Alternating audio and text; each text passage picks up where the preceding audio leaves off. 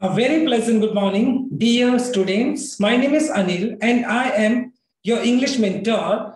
Today I'm going to teach you part number two of poetic devices.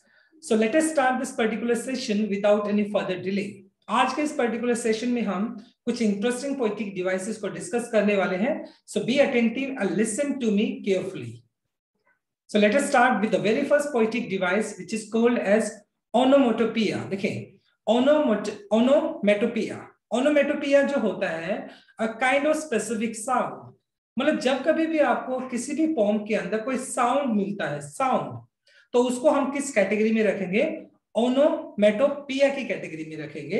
जैसे अगर मैं बात करता हूँ all night clatter of utensil disturb my sleep clatter अब क्लेटर क्या हो गया? क्लेटर एक साउंड हो गया राइट तो यहाँ पर क्लेटर एक साउंड हो गया। Can you hear the hiss of snake hiss भी क्या होंगे? एक साउंड हो गया आपका। The flutter of birds fluttering करना होता है यानी बर्ड्स का जो विंग्स को वो क्या करते हैं? फ्लटर करते हैं। ये भी एक साउंड हो गया आपका। द कैट्स म्यू कैट्स क्या करती है? म्यू करती है तो ये भी एक साउंड हो गया आपका। द बैल इज़ रिंगिंग बैल क्या करती है? रिंग करती है तो ये भी एक आपका साउंड हो गया। तो जब कभी पर्टिकुलर पोम के अंदर पोइट कोई भी साउंड को इंट्रोड्यूस करता है तो वहाँ पर हम एक पोइटिक डिवाइस यूज़ करते हैं, उसको हम बोलते हो ओनोमेटोपिया उसको क्या बोलते हैं हम? ओनोमेटोपिया बोल देते हैं। सो आई होप ये पोइटिक डिवाइस आपको समझ आया होगा। So let us move on to next poetic device which is metonymy देखिए आज का हमारा दूसरा पोइटिक डिवाइस है मेटोनमी देखो मेटोनमी क्या होता है? A title given to someone something मतलब क्या होता है? जो किसी भी पर्टिकुलर चीज़ का एक जो लिटरल नेम होता है, एक रियल नेम होता है, उसके बिहार पर उसको दूसरा नाम दिया जाता है, उसको दूसरा टाइटल दे दिया जाता है, उसको मेटोनमी की कैटेगरी में डालते हैं। जैसे अगर मैं बात करता हूँ, सरदार वल्लभ भाई पटेल तो ये तो उसका रियल नेम है राइट सरदार वल्लभ भाई पटेल। लेकिन उसको किस टाइटल से जाना जाता है? द आयरन मैन जैसे मैंने द आयरन मैन बोला तो आपके दिमाग में कौन आया? सरदार वल्लभ भाई पटेल आया। जैसे मैं बोलता हूँ I went to Jaipur last year लेकिन मैंने बोला I went to the pink city अब पिंक सिटी किसके लिए आप यूज़ करते हो? जयपुर के लिए यूज़ करते हो राइट right? तो जब कभी भी आप बात करते हैं, अगर आप देखो, जब कभी भी आप एक टाइटल देते हो किसी को या समथिंग या समवन को तो उस, हालाँकि वो जो टाइटल होता है वो सेकेंडरी नेम होता है प्राइमरी नहीं होता है, लेकिन वो किसको किसको रेफर करता है? जो मेन नेम होता है, उसको रेफर करता है तो वहाँ पर हम यूज़ कर लेते हैं मेटोनमी जैसे अगर मैं बात करता हूँ व्हाइट हाउस तो व्हाइट हाउस का दिमाग में आती है, आपके दिमाग में क्या आया? व्हाइट हाउस तो मैंने क्या बोला? व्हाइट हाउस अमेरिका के लिए यूज़ किया जाता है। अमेरिका का जो पार्लियामेंट है, उसके लिए हम यूज़ कर लेते हैं व्हाइट हाउस ओके तो माय डियर स्टूडेंट मेटोनिक वहाँ पे यूज़ करते हैं जब एक टाइटल दिया जाता है, किसी को सम और समथिंग को, हालाँकि वो टाइटल होता है सेकेंडरी होता है, लेकिन वो टाइटल सेकेंडरी किसके लिए यूज़ किया जा रहा है? जो उसका प्राइमरी नेम होता है, उसके लिए यूज़ किया जाता है right so that is in case of metonymy now move on with third poetic device which is synecdoche इसको प्रोनाउंस कैसे करते हैं? स्निक डिकी स्निक डिकी इसको हम प्रोनाउंस करते हैं। अब देखो, ये बड़ा इंटरेस्टिंग पोइटिक डिवाइस है। Part for whole part for whole या होल फॉर पार्ट यानी जब किसी बड़ी चीज़ से आप क्या करते हो? किसी छोटी चीज़ से आप बड़ी चीज़ को बता देते हो, या बड़ी चीज़ से किसी छोटी चीज़ को बता देते हो तो वहाँ पर आप यूज़ करते हो स्निक डिकी क्या यूज़ कर लेते हैं? स्निक डिकी देखिए मैनी ब्रेन्स गैदर्ड देयर देखो मैनी ब्रेन्स ब्रेन्स का मतलब मेरा क्या हुआ? इंटेलिजेंट पीपल इंटेलिजेंट पीपल अब ब्रेन तो क्या होता है? ब्रेन तो एक छोटा पार्ट होता है बॉडी का राइट right? और ब्रेन मैंने कहा ब्रेन में किसके लिए रेफर कर रहा हूँ यहाँ पर? इंटेलिजेंट पीपल के लिए रेफर कर रहा हूँ। तो मैंने brains gather there it mean मैंने क्या बोला है? मैंने इंटेलिजेंट पीपल गैदर देयर तो ब्रेन क्या हो गया? पार्ट फॉर हॉल यानी एक छोटे पार्ट से मैंने बड़ी चीज़ को बताया है। I high I hire some extra hands अब एक्स्ट्रा हैंड्स हैंड्स का मतलब वैसे हाथ होता है, लेकिन यहाँ पे एक्स्ट्रा हैंड्स का मतलब क्या हो गया? मैन पावर हो गया। तो यानी यहाँ पर भी यानी हैंड छोटा होता है, यानी पार्ट फॉर हॉल भी यहाँ पे मैंने पार्ट फॉर हॉल छोटी चीज़ से बड़ी चीज़ को रेफर किया है। He got his fingers in every business he got his fingers अब ऑब्वियसली बात है यानी उसने अपनी फिंगर्स फिंगर से क्या कर रहा है? फिंगर से उसको पूरा कंप्लीटली जो जिस भी बंदे ने बिज़नेस में अपने आप को अजमाया उसके बारे में बात करें फिंगर से हम होल की तरफ़ जा रहे हैं। तो जब पार्ट फॉर होल की बात करते हैं तो वहाँ पर हम यूज़ कर लेते हैं मेटॉन सॉरी वहाँ पर हम यूज़ करते हैं synecdoche right India have won देखो India have won my dear student वैसे इंडिया क्या है? इंडिया एक कंट्री है राइट right? इंडिया एक कंट्री है. लेकिन यहाँ पे इंडिया किसकी बात करें? इंडिया हम टीम की बात कर रहे हैं. तो यानी टीम से हम किसको बता रहे हैं? टीम से हम पूरे नेशन को बता रहे हैं. टीम छोटी होती है राइट right? तो यानी हम क्या बता रहे हैं? छोटे से होल को बता रहे बड़े को। यानी बड़े से छोटे को बताया जा सकता है, छोटे से बड़े को जब बताया जाता है तो वहाँ पर हम पोइटिक डिवाइस यूज़ करते हैं स्निक डिकी राइट क्या यूज़ कर लेते हैं? स्निक डिकी हम यूज़ कर लेते हैं। Let us move on to our next slide which is litotes litotes ये जो हमारा नेक्स्ट पोइटिक डिवाइस है लिटॉर्ट्स देखो लिटोर्ट्स का मतलब क्या होता है? जब आपके दो नेगेटिव मिलाकर एक पॉजिटिव मीनिंग देते हैं तो उसको हम लिटॉर्ट्स बोलते हैं। जैसे आई वॉज़ नॉट अनफिमिलियर देखो नॉट क्या हो गया? ये भी नेगेटिव हो गया, और अनफिमिलियर ये भी नेगेटिव हो गया। तो यानी या तो मैं इसको बोलू आई वॉज़ फिमिलियर ये भी करेक्ट है। लेकिन जब मैंने दो नेगेटिव को, जब आप दो नेगेटिव को यूज़ करते हो, लेकिन उसका मीनिंग पॉजिटिव होता है तो वहाँ पर हम लिटॉर्ट्स यूज़ करते हैं। जैसे मैंने बोला I was not unfamiliar not a bad idea अब नॉट भी नेगेटिव हुआ बैड भी आपका नेगेटिव हो गया तो it mean not a bad idea मतलब ए गुड आइडिया हो गया। ही इज़ नॉट डिसऑनेस्ट यानी ही इज़ ऑनेस्ट नॉट हो गया, यहाँ पे डिसऑनेस्ट हो गया। तो जब आपके दो नेगेटिव एक पॉजिटिव मीनिंग देते हैं तो वहाँ पर हम लिटॉट्स यूज़ कर लेते हैं। ओके नंबर फाइव की अगर मैं बात करता हूँ रिटोरिकल क्वेश्चन देखो रिटोरिकल क्वेश्चन भी आपका एक पॉइटिक डिवाइस है। उस पॉइटिक डिवाइस में हम क्या यूज़ करते हैं? आंसर इन इंटेरोगेशन मतलब जब आपका कोई क्वेश्चन होता है इंटेरोगेशन का मतलब मेरा यहाँ पे क्वेश्चन हो गया। यानी जब सामने वाले से आप कोई क्वेश्चन पुट करते हैं और उसी क्वेश्चन में आपका आंसर भी छुपा होता है तो हम उसको बोलते हैं रिटोरिकल क्वेश्चन देखिए दस मनी ग्रॉन ट्री जब सामने वाले से बोले, क्या पैसे पेड़ पे उगते हैं? तो इनडायरेक्टली आपने उसको बता दिया, पैसा पेड़ पे नहीं उगता है। Are you son of Ambani? क्या तुम अंबानी के बच्चे हो क्या? मतलब आप अंबानी के बच्चे नहीं हो। आर यू चाइल्ड क्या तुम बच्चे हो? इट मीन आप कहना चाहते हो you are not a child are you blind क्या तुम अंधे हो? इट मीन आप कहना क्या चाहते हो you are not a blind right you are not blind तो इनडायरेक्टली मतलब क्या होता है? हिस्टोरिकल क्वेश्चन के अंदर, जब कभी भी आपको एक क्वेश्चन पुट करते हो, उसी के अंदर आपका आंसर भी होता है। तो ये होता है आपका रिटोरिकल क्वेश्चन के अंदर right let us move on six अगर मैं बात करता हूँ क्लाइमेक्स देखिए क्लाइमेक्स में क्या होता है? Suspense in ascending order ascending order का मतलब जब कभी आपने मूवीज़ देखी होंगी थ्रिलर देखा होगा क्राइम सीन देखा होगा तो नॉर्मली क्या होता है? क्लाइमेक्स होता है उसके अंदर। ऑर्डनरी से भी क्या करता है? धीरे धीरे क्लाइमेक्स बढ़ता चला जाता है। असेंडिंग ऑर्डर का मतलब इंक्रीजिंग ऑर्डर में। बढ़ते ऑर्डर के अंदर मतलब जनरली हम मूवीज़ को देखते हैं राइट और जैसे क्लाइमेक्स क्या है? ये भी एक पोइटिक डिवाइस है। ही केम वो आया। ही सो उसने देखा। ही पिक्ड उसने उठाया। वेपन्स अधिकार। एंड फोर्ट मैनफुली और मतलब क्या हुआ? बहादुरों की तरह लड़ा एंड कॉन्कर्ड और वो जीत गया। तो कहीं ना कहीं देखो आपने केम ऑर्डनरी है फिर सो थोड़ा सा मतलब आप क्या कर सस्पेंस क्रिएट कर जब आपका सस्पेंस असेंडिंग ऑर्डर में क्रिएट होता है तो वहाँ पर आप क्लाइमेक्स यूज़ करते हैं। जैसे अगर मैं बोलता हूँ look up in the sky आसमान में देखो भाई look up in the sky it's a bird no no it's a plane तो यानी यहाँ पर क्या किया? ऑर्डनरी से आपने स्पेसिफिक किया है, जब आप सस्पेंस क्रिएट करते हैं असेंडिंग ऑर्डर में। देखिए शी कोल्ड मी उसने मुझे बुलाया। शी ऑफ़र मी टी उसने मुझे चाय दी एंड कोल्ड पुलिस और उसके बाद पुलिस को बुला लिया। तो यानी called me offered and called right तो कहीं ना कहीं यहाँ पर क्या है? यहाँ पर भी आपका असेंडिंग ऑर्डर में है सस्पेंस जब आपका सस्पेंस असेंडिंग ऑर्डर में होता है, जैसे ही लॉस्ट फिफ्टी रुपीज़ उसने पचास रुपए खो दिए। अपना मोबाइल भी खो दिया, अपनी कार भी खो दी और अपनी फैमिली को भी खो दिया राइट तो कहीं ना कहीं आपका क्लाइमेक्स असेंडिंग ऑर्डर में था। एंटी क्लाइमेक्स में क्या होता है? यानी आपका क्लाइमेक्स स्टार्टिंग में ही खत्म हो जाता है डिसेंडिंग ऑर्डर में होता है। यानी जो बहुत ज़्यादा इंपॉर्टेंट यानी सस्पेंस अब ऑलरेडी डिस्क्लोज हो जाता है। जैसे the board of director called and urgent meeting यानी बोर्ड ऑफ़ डायरेक्टर ने क्या किया? एक मीटिंग बुलाई अर्जेंट मीटिंग बुलाई, बहुत अर्जेंट मीटिंग बुलाई। अर्जेंट क्या सस्पेंस बना दिया and decided to change the gate of bathroom और क्या डिसाइड किया कि वो बाथरूम का गेट चेंज करेंगे? तो यानी क्या है? सस्पेंस आपका डिक्लाइन हो गया। देखो सस्पेंस जब आपका इंक्लाइन होता है सस्पेंस आपका बढ़ता चला जाता है तो क्लाइमेक्स की कैटेगरी में डाल देंगे। और जब सस्पेंस आपका डिक्लाइन हो जाता है, उसको एंटी क्लाइमेक्स की कैटेगरी में डाल देंगे। फ़र्स्ट शी पहले तो उसने थप्पड़ मारा एंड देन शुक हैंड्स और उसके बाद हाथ मिला लिया। Right right? तो यानी स्लैप्ट करना क्या? सस्पेंस था एक तरह से। शी इज़ ए डॉक्टर वो एक डॉक्टर है अ मदर अ कुक तो यहाँ पे डॉक्टर क्या है? शी इज़ ए डॉक्टर मतलब एक मतलब क्या हो गया? एंटी क्लाइमेक्स हमने यूज़ कर लिया। जब आपका सस्पेंस क्या होता है?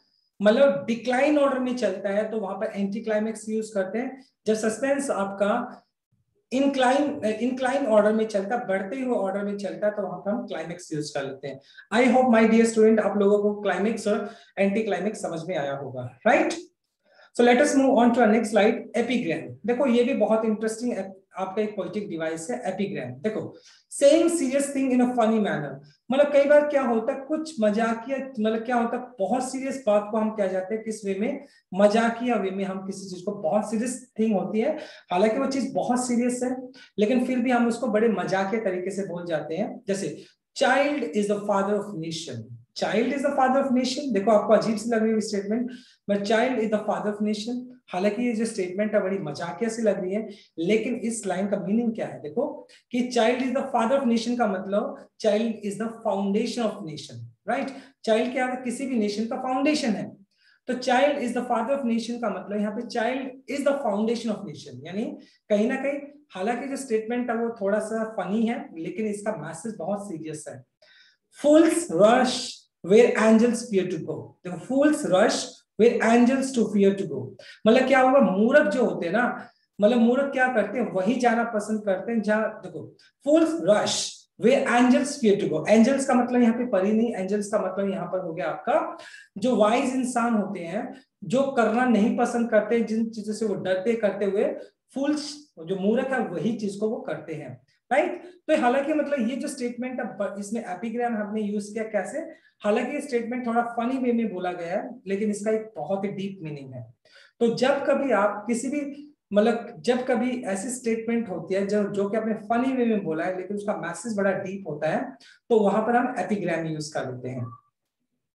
फिर आता है इमेजरी इमेजरी देखो क्या होता है? एन इमेजिनेशन जब आप कल्पना क्रिएट करते हो पोइट जनरली क्या होता है? जो भी नेचर से रिलेटेड पॉम्स लिखता है तो पॉम पॉम के अंदर जनरली इमेजरी बहुत ज़्यादा यूज़ की जाती है। जैसे she behaves as if she were my mother यानी वो ऐसा बिहेव करती है, जैसे कि मानो मेरी मदर हो। तो यहाँ पे क्या यूज़ किया आपने? इमेजरी यूज़ किया। I wish I wish I were the prime minister of India तो यहाँ पर भी आपने इमेजरी यूज़ किया। काश में क्या होता? प्राइम मिनिस्टर होता इंडिया का। Is running as he should be mad मतलब वो ऐसे ऐसे दौड़ रहा है जिससे मानो कि वो मूर्ख हो, यानी पागल हो चुका है वो। राइट क्या एक्चुअली में वो पागल है? नहीं है। राइट अब जैसे जस्ट इमेजिन करें कि पोइट पोइट के पोइट्री पोइट क्या करता है? पॉम के अंदर जनरली तो इमेजिनेशन क्रिएट करता है। राइट तो उस केस में भी हम इमेजरी यूज़ कर लेते हैं। So this is in case of imagery ना एमिग्विटी देखो एमिग्विटी का जो मीनिंग होता है अनक्लियर मीनिंग मतलब कोई मतलब क्या होता है? अनक्लियर मीनिंग जो मीनिंग होता है वो क्लियर नहीं होता है, वहाँ पर एमिग्विटी हम यूज़ कर लेते हैं। या इंटरप्रेट मोर मीनिंग यानी एक ही पर्टिकुलर लाइन के आप दो डिफरेंट मीनिंग्स निकाल सकते हैं। मीनिंग क्लियर नहीं होता किसके लिए वो चीज़ बोली गई है। जैसे I saw a child playing cricket मैंने देखा मैंने देखा अ चाइल्ड प्लेइंग क्रिकेट अब देखो यहाँ पर दो मीनिंग हो गया। आई सो मैंने देखा। क्या? अ चाइल्ड प्लेइंग क्रिकेट, यानी बच्चा वहाँ पे क्रिकेट खेल रहा था, यानी मैंने एक खेल मैंने क्या देखा? मैंने देखा एक बच्चा क्रिकेट खेल रहा था, या I saw a child playing cricket मैंने एक बच्चे को देखा क्रिकेट खेलते हुए। तो यहाँ पर पता नहीं चल रहा है कि मैं क्रिकेट खेल रहा था, या वो बच्चा क्रिकेट खेल रहा था। तो इस तरह के जो सेंटेंसेस होते हैं, वो एमिग्विटी होते हैं। I met my friend in black coat मैंने, मैं अपने दोस्त से मिला ब्लैक कोट के अंदर। अब यहाँ पे समझ नहीं आ रहा है कि मैंने ब्लैक कोट पहना हुआ था या मेरे दोस्त ने ब्लैक कोट पहना हुआ था। Right right? तो जब आपका जो पर्टिकुलर सेंटेंस के अंदर मीनिंग ही क्लियर नहीं होता है तो उस केस में आप क्या यूज़ करते हो? एमिग्विटी यूज़ करते हैं। क्या करते हैं? एमिग्विटी जिसका मीनिंग होता है अनक्लियर मैसेज या अनक्लियर मीनिंग आई होप आपको ये तीनों के तीनों पोइटिक डिवाइस समझ में आए होंगे। Right right? तो नेक्स्ट देख लेते हैं, बहुत इंटरेस्टिंग है नेक्स्ट भी आपका। इनजैबमेंट देखो इनजैबमेंट इनजैबमेंट क्या होता है? जनरली कोई जब कभी भी नेक्स्ट लाइन में मूव करता है तो जनरली वो फुल स्टॉप पोज कॉमा या एनी पंक्चुएशन मार्क को जनरली यूज़ करता है। But when point moves to the next line without using any punctuation mark so that time we use enjambment देखो take him and cut him out in little stars देखो take him and cut him out in the little stars तो यहाँ पे तो full stop है देखो comma लगाया आपने।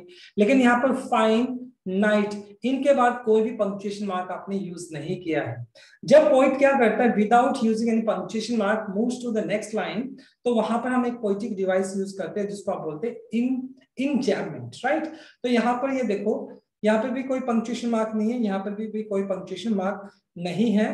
तो यहाँ पर हमने कौन सा पोइटिक डिवाइस यूज़ किया है? इंचैमेंट हमने यूज़ किया है राइट नेक्स्ट हमारा पोइटिक डिवाइस है असोनेंस देखो असोनेंस में क्या होता है? जब आपका वोवल साउंड जो होता है, वो डोमिनेंट होता है। देखो, जब आपका वोवल साउंड जो होता है, वो डोमिनेंट होता है बार बार उसको यूज़ किया जाता है तो वहाँ पर आप यूज़ करते हो असोनेंस देखिए go slow over the board देखो, यहाँ पर go slow over the board road तो यहाँ पर देखो ओ साउंड आपका कुछ ज़्यादा ही प्रोमिनेंट है। तो यहाँ पर ओ साउंड किसमें आता है? वोवल साउंड में आता है। The rain in Spain in देखो एन स्पेन मेन प्लेन तो यहाँ पर भी एन यानी एन साउंड जो है ना, ये जो एन साउंड है, वो प्रोमिनेंट है। तो एन साउंड किसमें आएगा? एन साउंड भी आपका किसमें आता है? वोवल साउंड में आता है। तो जब कभी आपका वोवल साउंड जो होता है प्रोमिनेंट होता है बार बार यूज़ किया जाता है तो वहाँ पर आप असोनेंस यूज़ करते हैं।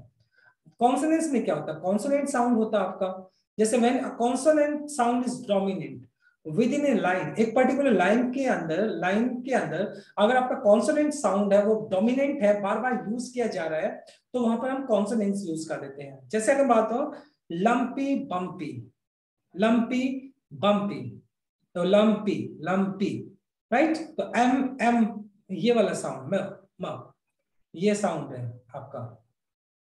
आधा में आ जाएगा यहाँ पर। ये वाला साउंड लंपी बम्पी तो ये कौन सा साउंड आ गया? ये आपका कॉन्सोनेंट साउंड आ गया। स्ट्रिंग स्ट्रिंग एन जी वाला, देखो एन जी वाला साउंड है ये strong and string N G sound हो गया। राइट तो ये वाला जो है, ये क्या है? ये भी वोवल साउंड आपका सॉरी कॉन्सोनेंट साउंड है। जब आपका कॉन्सोनेंट साउंड जो प्रोमिनेंट होता है तो उस केस में आप यूज़ कर लेते हैं कॉन्सोनेंट्स राइट अगर वोवल साउंड प्रोमिनेंट होगा तो आप यूज़ करेंगे असोनेंट्स जब आपका कॉन्सोनेंट साउंड प्रोमिनेंट होता है, तब आप यूज़ करते हैं consonants right let us move on to next slide अब बात कर लेते हैं असाइन डेटन देखो, बड़ा इंटरेस्टिंग पोइटिक डिवाइस है asyndeton when a line is connected with comma without using any conjunction generally जैसे आपको कुछ लाइंस कनेक्ट करनी होती है, या कुछ नाउन्स आपको कनेक्ट करने होते हैं तो जनरली हम उनके बीच में कंजेक्शन यूज़ करते हैं. लेकिन जब कभी आप कंजेक्शन के बिना आप सिर्फ़ कोमा लगाकर किसी भी लाइन को या किसी भी नाउन को आप जब कनेक्ट करते हो या किसी भी पर्टिकुलर लाइन को कनेक्ट करते हो without using any conjunction okay बिना कोई कंजेक्शन के, सिर्फ़ कॉमा के साथ आप कनेक्ट करते हो तो वहाँ पर हम यूज़ करते हैं असाइन डेटर देखिए ही क्रॉस द रोड उसने रोड को क्रॉस किया without looking without listening without question अब यहाँ पे देखो, यहाँ पे मैंने कोई भी पंक्चुएशन मार्क यूज़ नहीं किया है। She has red hair blue eyes and slim nose. तो यहाँ पे भी देखो आप ध्यान से तो मैंने यहाँ पे नहीं लिखा she has red hair and blue eyes कैसे she has red hair comma blue eyes and slim nose मैंने ऐसे यूज़ नहीं किया। तो जब आप मतलब क्या करते, एक ही लाइन के अंदर अगर आपको मतलब बहुत सारी चीज़ें दी गई है, आप विदाउट कंजेक्शन मतलब कंजेक्शन के, आप कॉमा के साथ उस चीज़ को कनेक्ट करके लिखते हैं तो वहाँ पर हम यूज़ करते हैं असाइन डेटन कौन सा यूज़ करते हैं? Assign डेटन next poetic device it's very interesting poetic device which is called as anaphora देखिए when two or more than two lines of a poem start of a poem starts with the same word. जब आपकी किसी भी particular pome की दो या दो से ज़्यादा जो लाइनें होती हैं, एक ही वर्ड से स्टार्ट होती हैं, जैसे अगर ध्यान से देखो, ये पहली लाइन होगी आपकी, ये सेकेंड लाइन होगी, या थर्ड लाइन होगी आपकी। Because of your smile because of the way you hold me because of how we feel just after we wake up तो if you look at this मैंने ये तीनों की तीनों लाइंस बिकॉज़ के साथ स्टार्ट की है। तो जब कभी आप क्या करते हो, जब मतलब पोम के अंदर आपकी two more than two lines okay starts with the same word तो उस केस में आप एनाफोरा यूज़ करते हैं। तो यहाँ पर हमने एनाफोरा को यूज़ किया है, क्योंकि हमने तीनों की तीनों लाइनें क्या यूज़ की है? बिकॉज़ के साथ स्टार्ट की है। दो या दो से ज़्यादा होनी चाहिए right Now let us move on to our next slide, which is based on transfer epithet. ये भी बहुत इंटरेस्टिंग पोइटिक डिवाइस है। इसका थोड़ा ध्यान से समझना पड़ेगा। देखो ट्रांसफ़र का मतलब किसी को ट्रांसफ़र कर देना किसी और के ऊपर। एपिथेट का जो मीनिंग होता है मतलब इसको हम एडजेक्टिव बोल सकते हैं। एपिथेट क्या होता है? आपका एडजेक्टिव होता है। यानी जो भी आप एडजेक्टिव यूज़ कर रहे हैं वो एडजेक्टिव जनरली क्या होता है? मान लो जैसे मैंने किया रेड कार रेड कार मान लो एक एग्जांपल देता हूँ रेड कार अब कार क्या हो गया? नाउन हो गया। और जो रेड है, ये क्या है? ये आपका एडजेक्टिव हो गया। तो जनरली क्या होता है? जनरली तो ये होता है कि एडजेक्टिव हमेशा अपने पीछे वाले नाउन को क्वालिफाई करता है राइट तो यहाँ पर जो कार है ओके रेड जो है रेड एडजेक्टिव हो गया। रेड किसको क्वालिफाई कर रहा है? कार को क्वालिफाई कर रहा है। ट्रांसफ़र एपिथेट में भी क्या होता है? एक नाउन होता है। और उससे पहले आपको यानी एडजेक्टिव दिया होता है, वो एडजेक्टिव जिसको आप एपिथेट बोल सकते हैं, यानी वो एडजेक्टिव पीछे वाले नाउन को क्वालिनाफाई करके किसी और को रेफर करता है। यानी वो नाउन किसी और को रेफर करता है, वो एडजेक्टिव किसी और को रेफर करता है। तो इस तरह के केस में हम ट्रांसफ़र एपिथेट यूज़ करते हैं। जैसे देखो an epithet is transferred from its proper word to another that is closely associated with its in the sentence मतलब ट्रांसफ़र एपिथेट क्या होता है कि जो नाउन उसके बिल्कुल साथ में यूज़ किया गया होता है उसकी बजाय वो किसी और को जाकर ट्रांसफ़र हो जाता है तो वहाँ पर हम ट्रांसफ़र एपिथेट यूज़ करते हैं। जैसे ही पास्ट अ स्लीपलेस नाइट देखिए, अगर मैं बात करता हूँ नाइट नाइट क्या हो गया? नाइट आपका एक नाउन हो गया राइट और मैं बात करता हूँ स्लीपलेस अब स्लीपलेस क्या है? स्लीपलेस आपका एक एडजेक्टिव हो गया, यानी यहाँ पर एडजेक्टिव हो गया। अब मैं आपसे क्वेश्चन पुट करना चाहता हूँ नाइट कभी स्लीपलेस होती है? नहीं होती, इंसान होता है। तो यहाँ पर जो स्लीपलेस है, वो नाइट को क्वालिफाई कर रहा है या ही को क्वालिफाई कर रहा है? वो तो ही को कर रहा है, क्योंकि स्लीपलेस नाइट नहीं थी, बल्कि वो आदमी था, जो मतलब जो सो नहीं पाया, बेचैन था। सिमिलर अगर बात करता हूँ he has had a very happy morning अब मॉर्निंग क्या है? मॉर्निंग आपका नाउन हो गया। मॉर्निंग आपका नाउन हो गया।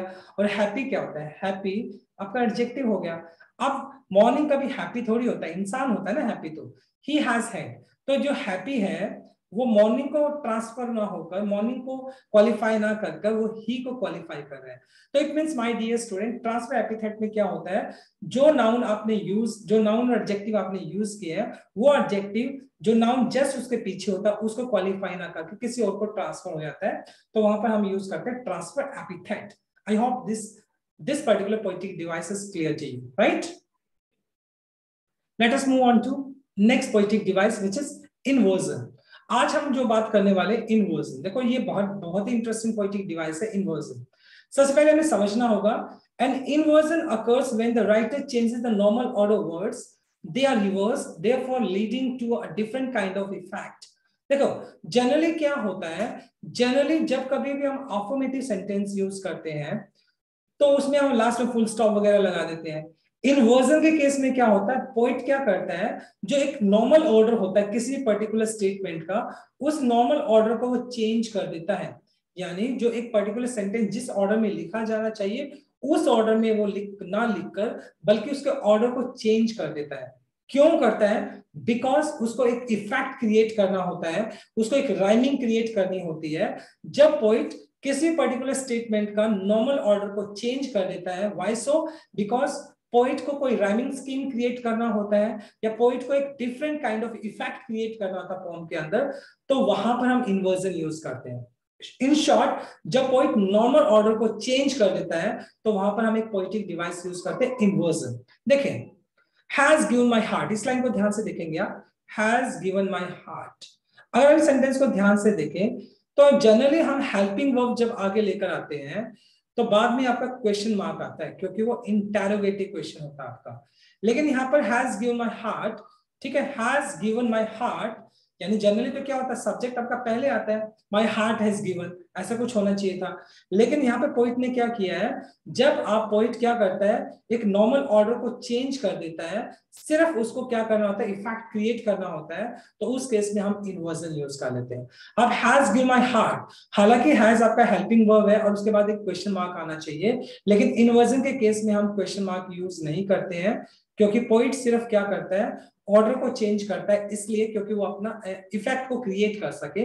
तो इस तरह के जो पोइटिक डिवाइस होता है, उसको हम इन्वर्जन की कैटेगरी में डाल देते हैं राइट आई होप ये आपको समझ में आया होगा inversion now let us move on to next which is allusion ये आज का हमारा लास्ट पोइटिक डिवाइस है, इसको हम बोलते हैं एल्यूजन देखो एल्यूजन क्या होता है? इसको पहले समझते हैं हम. An allusion is a figure of speech ये एक फिगर ऑफ़ स्पीच है that makes a reference to people, place, event, or literary works directly by implying them. It is up to the audience to make the connection. My dear student क्या होता है एल्यूजन का जो meaning होता है मतलब जब आप किसी भी historical figure historical place historical person event मतलब जब कभी भी आप हिस्टोरिकल फिगर यानी हिस्टोरिकल पर्सनालिटी हो गया प्लेस हो गया लोग हो गए इवेंट हो गया जब आप उनका रेफरेंस लेते हैं पोम के अंदर समझाने के लिए तो वहाँ पर हम यूज़ करते हैं allusion let me just make it clear one more time जब कभी आप historical figure person people place event का रेफरेंस लेकर किसी चीज़ को समझाना चाहते हो पोम के अंदर तो वहाँ पर हम एक पोइटिक डिवाइस यूज़ करते हैं जिसको हम बोलते हैं एल्यूजन और सेंटेंस को ध्यान से देखो. He is a real Romeo with ladies he is real Romeo with the ladies अब रोमियो क्या? रोमियो एक कैरेक्टर है। किसका कैरेक्टर है? मतलब ये विलियम शेक्सपियर ने लिखा हुआ एक ड्रामा है रोमियो एंड जूलियट तो उसका एक कैरेक्टर है। तो यानी हिस्टोरिकल फिगर हो गया हिस्टोरिकल क्या हो गया? एक हिस्टोरिकल कैरेक्टर हो गया। तो हिस्टोरिकल कैरेक्टर का आपने यूज़ किया जब कभी आप हिस्टोरिकल कैरेक्टर का यूज़ करते हैं या पर्सन प्लेस इवेंट का यूज़ करते हैं रेफरेंस देने के लिए तो वहाँ पर आप यूज़ करते हैं एल्यूजन क्या यूज़ करते हैं? एल्यूजन तो यहाँ पर रोमियो एक रेफरेंस के तौर पे हमने यूज़ किया है तो इसलिए हमने यहाँ पर यूज़ किया allusion right I hope my dear student this is clear to you. Thanks for watching this video. Please do like, share, comment and subscribe to my channel. So tomorrow I'll continue the next topic. Till then, bye-bye. Take care and have a nice day.